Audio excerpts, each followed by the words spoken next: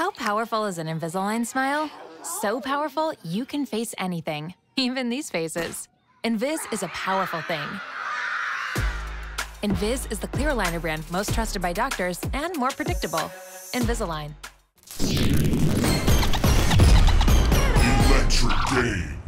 League play in the West Catholic League is winding down. The Lancers are in the driver's seat, entering this game with a 9 0 record. Meanwhile, the Bells are just sitting two and a half games behind the Lancers. For Bellarmine, watch out for Rowan Kelly. The sophomore has a quick bat hitting 472, but Kelly and the Bells will be tested as Jack Surdy gets the call for the Lancers. The junior has a .8 ERA. The Lancers defeated the Bells 5-2 back on March 22nd. Will Bellarmine get revenge? Find out in our CCS SunPower Electric game. Bottom of the first inning, the Lancers jump out to an early lead as Christian Galvez launches this ball to deep center field.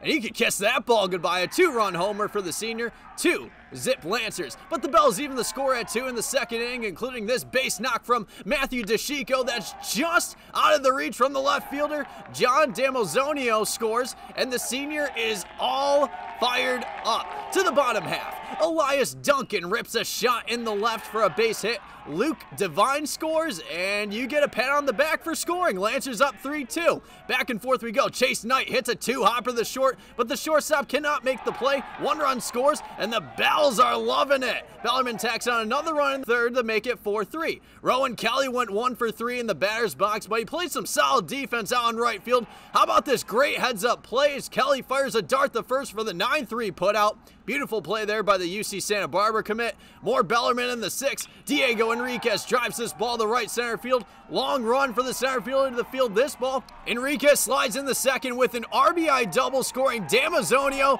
Hey, hey, hey, hey, 5-3 Bells. Still in the sixth. DeChico crushes this ball to the left. This ball goes to the fence for an RBI double.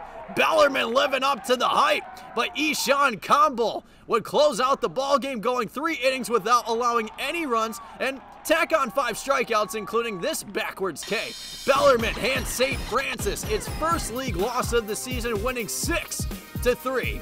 Uh, we feel great as a team. Great team win today. We've been prepping for almost a month now. Ever since that loss, you know, we've been hungry for this game right here, and you know, I'm pretty sure we showed y'all what we can do right here. In Mountain View with the CCS SunPower Electric game, I'm Jake Vanderbrook, 49ers Cal Sports.